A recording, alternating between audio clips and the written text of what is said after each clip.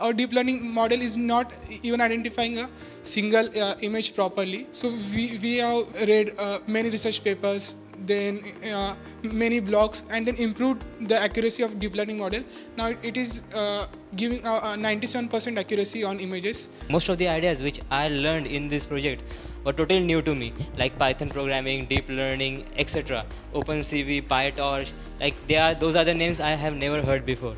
But Yantra inspired me to learn this. Also, there was many websites and documents which I read, which I don't normally read, but because of it, I explored myself more. I learned where my interest lies. When I was uh, learning all this thing, I just uh, thought of it. How about combining embedded programming and machine learning? It's a totally new initiative. So I was thinking, and then I found out something known as tensor TensorLite, which helps in it. We had no idea about mechanisms like what we have to do. It was like arm mechanism but we have never worked on it. So we uh, like uh, started to uh, see various videos where people have uh, seen uh, done the mechanisms. So from there we have learned many things and we got to know what what we can use what we, uh, other mechanism what people think what they have already done or what innovations we can do in it.